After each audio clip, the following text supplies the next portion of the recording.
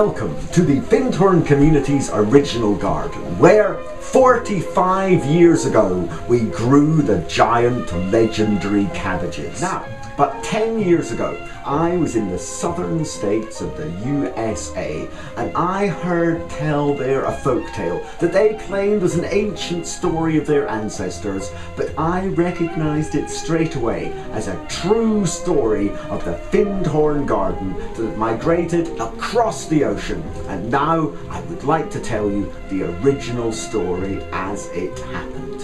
For one day, Peter Caddy was here in the garden with his son Jonathan. And he said, Jonathan, I want you to go and get me the horse that is fastest from up the road at Brodie. The fastest horse, Dad? said Jonathan. How will I know it's the fastest horse? Because, said Peter, if you go and get it, you'll be here, back here, before you've left. And Jonathan, true enough, he arrived five minutes before he left on the horse. Now, said Peter, you're going to have to go to the far end of our land. Take this turnip seed and plant it. Plant it, get on the horse and ride back as fast as you can. And whatever you do, don't look back. So Jonathan got up on the horse, he rode along to the far end, Pine Ridge we call it. He planted the little turnip seed. He jumped up on the horse, galloped as fast as he could. But behind him, he heard all these strange noises, this rustling, twisting, growing sound. And did he look back? Yes, he looked back.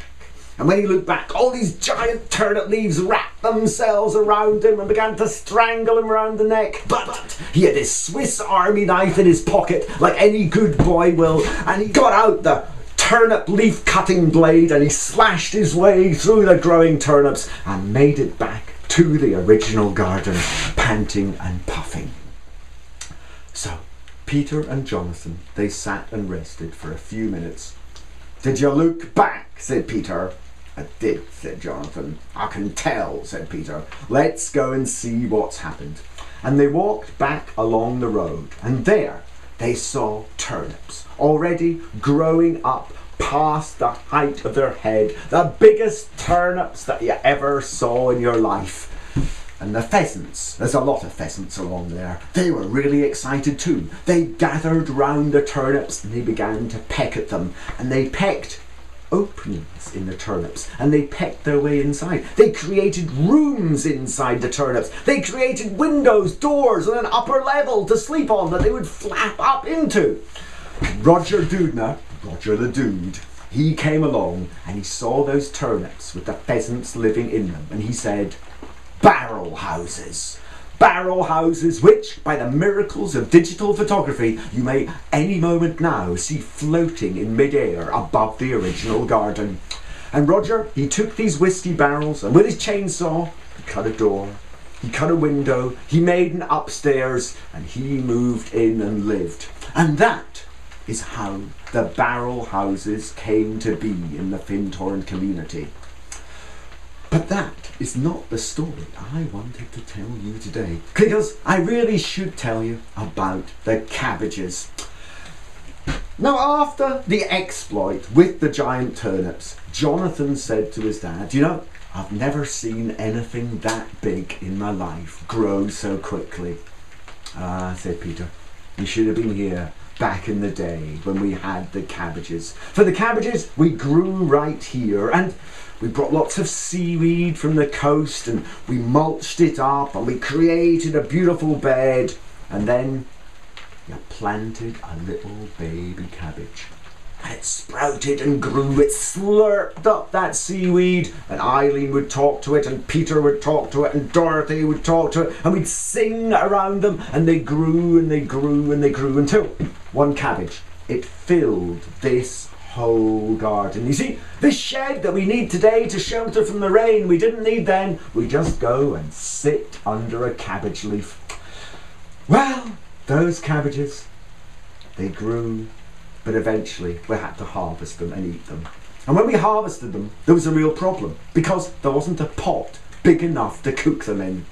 So in those days, Pine Ridge, which I'll show you later, there was a big hill there. a big hill and it was all clay. And Peter said, I said to the pottery, build me a pot as big as the cabbage. I need to cook it. And they took that hill and out of it they made a giant, giant pot. But it was so big.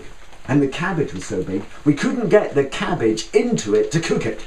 So we had to turn the pot upside down. The whole community came up. We lifted the pot and put it on top of the cabbage, and then we built the fire on top of the pot to cook it three days and three nights. We stood there fueling the fire. The pot, well, the pot cooked as well because it wasn't properly cooked in the kiln, and then the cabbage cooked.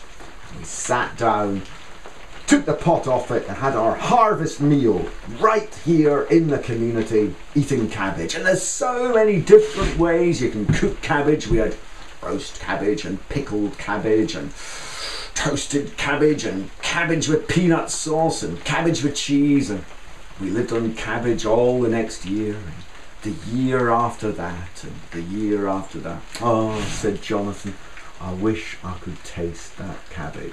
Well, said Peter, you know, it may be 40 years ago, but there's still a jar or two of that pickled cabbage in the food shed. I'll get you some out for your dinner tonight. And so, if you ever come to the Findhorn community to visit, just say you wouldn't have any of that magic pickled cabbage I could taste, would you? And I'm sure they'll get a little plate out for you to taste. And that's the story I heard in the southern states of the US that really happened right here in the original garden of Findhorn.